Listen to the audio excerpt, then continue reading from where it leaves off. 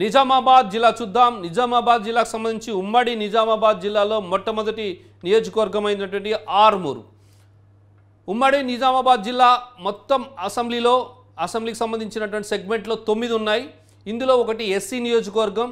గత అసెంబ్లీ ఎన్నికల్లో బీఆర్ఎస్ ఎనిమిది కాంగ్రెస్ ఒకటి గెలుచుకున్నాయి. ఈ దఫా ఎన్నికల్లో పసుపు చెరుకు వరి పంటలు ప్రధాన ప్రచారాస్త్రాలుగా మారిపోయాయి.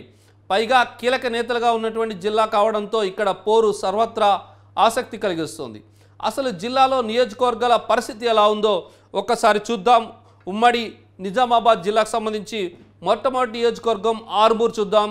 ఆర్మూరు నియోజకవర్గానికి సంబంధించి ఉమ్మడి నిజామాబాద్ జిల్లాలో ఆర్మూరు నియోజకవర్గంలో ముక్కోడ పోటీ నెలకొనుంది. సిట్టింగ్ ఎమ్మెల్యే ఆసన్న గారి జీవన్ రెడ్డి మళ్ళీ బరిలో ఉన్నారు. హ్యాట్రిక్ విజయంపై ఆయన కన్నేశారు. జీవన్ రెడ్డి గత ఎన్నికల గత ఎన్నికల్లో బీజేపీ నుంచి పోటీ చేసినటువంటి విజయ్ కుమార్ రెడ్డి ఈసారి కాంగ్రెస్ అభ్యర్థిగా ఉన్నారు. బీజేపీ నుంచి రాకేష్ రెడ్డి పోటీ చేస్తుంటే ఇక్కడ ఎంపీ అరవింద్ ఎత్తుగళ్ళు కలిసి వస్తాయని లెక్కలు వేస్తున్నారు బీజేపీ నేతలు. చూడాలి మరి ఆసన్న గారి జీవన్ రెడ్డి హ్యాట్రిక్ సాధిస్తారా? పొద్దుటూరి వినయ్ కుమార్ రెడ్డి కాంగ్రెస్ పార్టీ నుంచి గెలుస్తారా? పి రాకేష్ రెడ్డి బీజేపీ నుంచి గెలుస్తారనేది. మరి ఆర్మూర్ నియోజకవర్గంలో ఒక సామాజిక వర్గానికి సంబంధించిన ఓట్లు ఎక్కువగా ఉన్నాయి.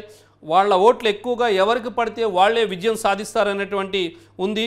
కానీ ఇక్కడ మూడు పార్టీలు కూడాను ఒకే సామాజిక వర్గానికి సంబంధించినటువంటి అభ్యర్థిని అభ్యర్థుల్ని నిలబెట్టిని. మరి చూడాలి ఆ కీలకమైనటువంటి బీసీ సామాజిక వర్గ ఓటు ఎటువైపు టర్న్ అవుతుంది ఏంటి అనేది చూడాలి. అదే కీలకంగా మారనుంది ఆర్మూర్ నియోజకవర్గంలో. ఆర్మూర్ నియోజకవర్గంలో మరి జీవన్ రెడ్డా వినయ్ కుమార్ రెడ్డా రాకేష్ రెడ్డా ఈ ముగ్గురులో ఎవరు అసెంబ్లీకి వెళ్తారనేది మరికొద్ది గంటల్లో తేలనుంది.